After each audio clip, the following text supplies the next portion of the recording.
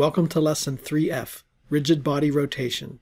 In this lesson, we'll discuss the behavior of a liquid that's in a container that's rotating at some constant rotational speed, and we'll do an example problem. First, some physics. Consider a container of liquid with radius r spinning at some constant angular velocity. The angular velocity vector is straight up in these problems, and we're rotating about the z-axis. Little r is the radius. Let's consider some small element of this fluid at radius r1. From the previous lesson for linear acceleration, we had this equation gradient of p equal rho times gravity vector minus acceleration vector. And we called this a modified gravity vector capital G. So gradient p is rho times capital G vector. We can still apply this equation in this rotating case, but keep in mind that capital G is not a constant, since the direction of the acceleration is constantly changing as this thing rotates around. However, A always points to the center of rotation. In other words, A is a centripetal acceleration. The magnitude of this acceleration is r omega squared, since the liquid is rotating in a constant RPM. Imagine a camera moving with this little fluid particle as it spins around. What would we see? We would see acceleration A towards the middle, and we would also have our gravity acting. So if our camera is moving with this little element of fluid, we would see a steady acceleration to the left. And we can analyze this in exactly the same way that we did in the previous lesson. In other words, vectorially sum g minus a. Here's g, here's a, so here's minus a. We complete the parallelogram to get capital G the modified gravity vector. The fluid particle feels a modified gravity vector as sketched. The isobars will be perpendicular to this modified gravity vector, just as they were for the case of linear acceleration. Now repeat this for any value of radius r.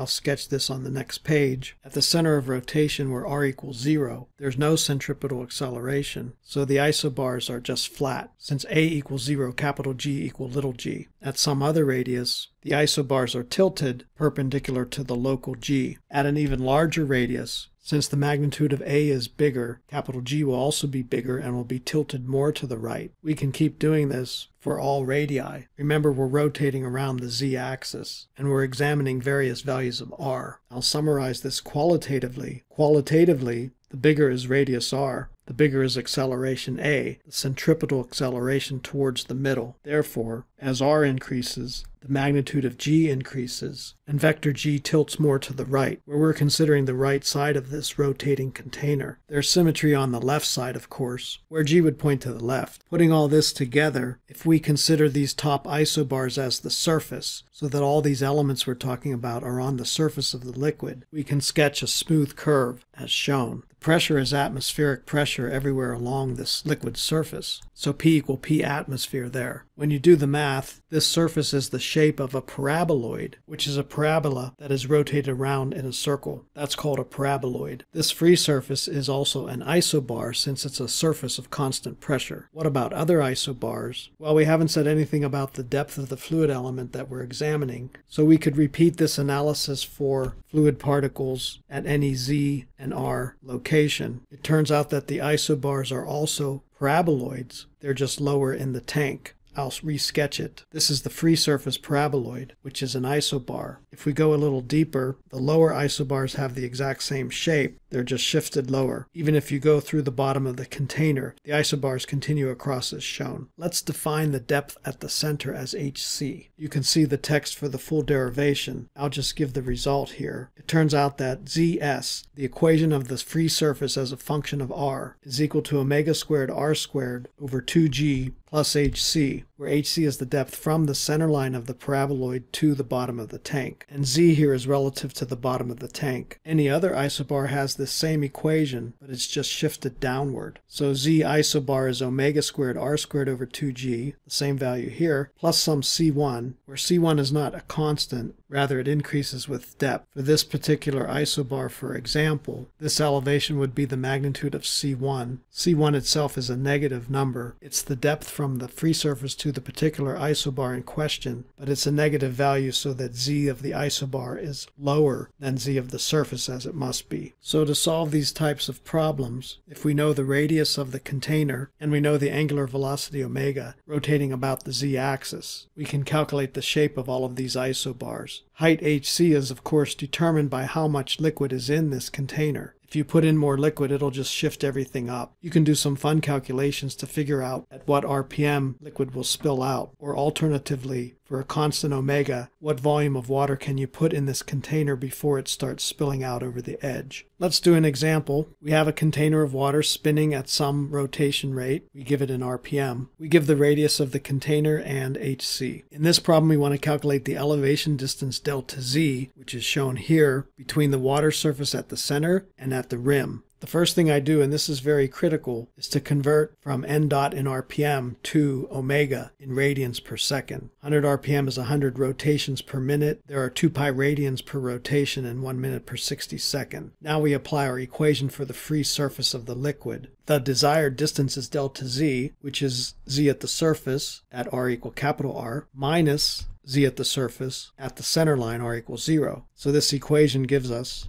delta z is omega squared r squared over 2g plus hc. That's the first term minus omega squared r squared over 2g plus hc, but r equals 0 here, so this term goes away, and this is the second term. The hc's also cancel out, so our answer in variable form is omega squared r squared over 2g. We plug in the numbers and get delta z equal omega squared times capital R squared over 2 times g and one unity conversion factor. I don't square this since we want our answer in centimeters. Radian has no units or dimensions, so the only thing left here is centimeters and our answer is 6.83 centimeters. My student, Joe's student, will demonstrate with a rotating container on a motor, which is advertised as rotating at 100 RPM, but it really goes a little bit slower than that. Okay, Joe, show the demo.